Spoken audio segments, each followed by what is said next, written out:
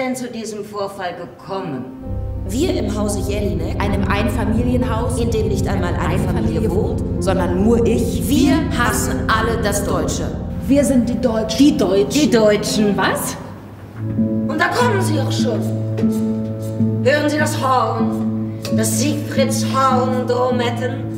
Wie schmeichelhaft, dass Sie das eigens für mich aufgeboten haben.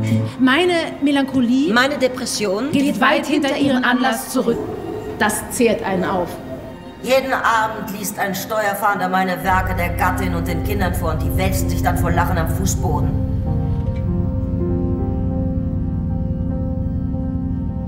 Solange sie Geld verdienen, gehören sie uns, aber nicht zu uns. Das nicht.